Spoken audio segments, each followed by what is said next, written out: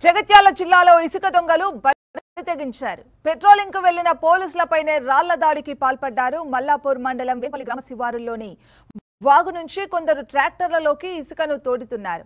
ఇదే సమయంలో పెట్రోలింగ్ కోసం పోలీసులు వెళ్ళడంతో ఇసుక దొంగలు వారిపై రాళ్ళతో దాడి చేశారు. ఈ ఘటనలో ట్రైన్ ఎస్ఐ వెంకటేష్తో పాటు కానిస్టేబుల్ శ్రీనివాస్ రాజ్ కుమార్ సురేష్కు గాయాలయ్యాయి. ఈ సమాచారం అందుకున్న మరికొంతమంది పోలీసులు ఘటనా స్థలానికి చేరుకోవడంతో కూలీలు ట్రాక్టర్ను అక్కడే వదిలివేసి పారిపోయారు. రాళ్ళ దాడి ఘటనపై తీవ్రంగా స్పందించిన డీఎస్పీ గౌస్ బాబా సిఐ శ్రీనివాస్ దర్యాప్తు ప్రారంభించారు.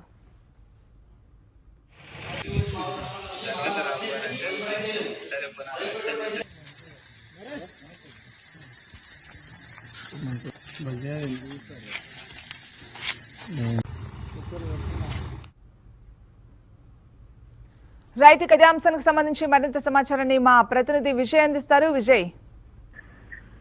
గత వారం పది రోజులుగా భారీ వర్షాలు కురుస్తున్నాయి. వర్షాల నేపథ్యంలో బాగులు వంకలలో నీరు నిల్వ ఉంది అయితే కొన్ని చోట్లలో ఇసుకను ఇసుకపై కన్నేశారు కేటగాళ్ళు. ఇసుకకు అమాంతం డిమాండ్ పెరిగింది. ఈ నేపథ్యంలోనే వీళ్ళంతా వెళ్ళి ఆ వేంపల్లి శివారులో వెళ్ళి ఇసుకను తీస్తా ఉన్నారు. సమాచారం అందుకున్నటువంటి పోలీసులు పెట్రోలింగ్ టీం అంతా కూడా అక్కడికి వెళ్ళింది. పోలీసుల రాకను గమనించినటువంటి ఇసుక మాఫియా ఒక్కసారిగా పోలీసుల పైన రాళ్ళతో దాడికి తిరగబడింది.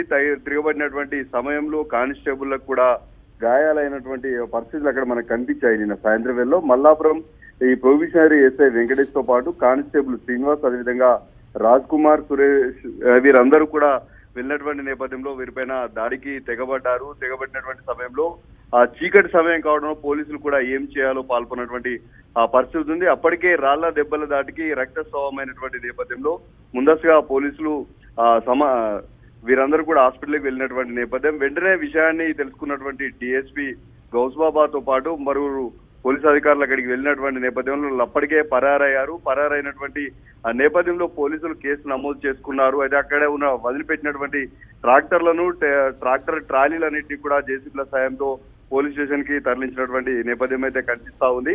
అయితే చాలా సార్లు అంటే ఈ ఇసుక వెలికితీత తీస్తున్నారని సమాచారం తెలుసుకున్నటువంటి పోలీసులకు అక్కడి నుంచి పరారవడం అక్కడి నుంచి వాళ్ళు వెళ్ళిపోవడం మాత్రమే వాళ్ళకి తెలిసినటువంటి అంశం. అయితే ఈ వర్షాల నేపథ్యంలో ఇసుకకు భారీగా డిమాండ్ పెరిగినటువంటి నేపథ్యంలో పోలీసుల పైనే దాడికి తెగబడ్డాన్ని అయితే ఇక్కడ మొదటిసారిగా జరిగిందనే చెప్పుకోవచ్చు. అయితే రాత్రి వేళలో ఇసుక తీయడం అనేది అంటే పోలీసుల కళ్ళు కప్పి ఆ ప్లేసెస్ చేంజ్ చేస్తూ ఇసుకను తీయడం అనేది కామన్గా జరుగుతున్నటువంటి అంశమే. కానీ పోలీసులకు. సమాచారం అందినటువంటి నేషన్లు పోలీసుల పైన దాడికి తెగబడ్డారు. అయితే పరారులో ఉన్నటువంటి వారికి అయితే పోలీసులు టీములుగా ఏర్పడి వారిని పట్టుకునేటువంటి ప్రయత్నం అయితే చేస్తా ఉన్నారు. దీంట్లో ఎవరున్నారు దీని వెనుక ఎవరున్నారు అనేది మాత్రం తెలుసుకునేటువంటి పోలీసులు ఆ పనిలో ఉన్నారు. అయితే పోలీసులకే దాడికి పాల్పడ్డది ఎవరనేది మాత్రం ఇంకా వేచి చూడాల్సిందే. వారు ఎవరు బయటపడతారనేది ఇంకా తేలాల్సి ఉంది. రైట్ విజయ్.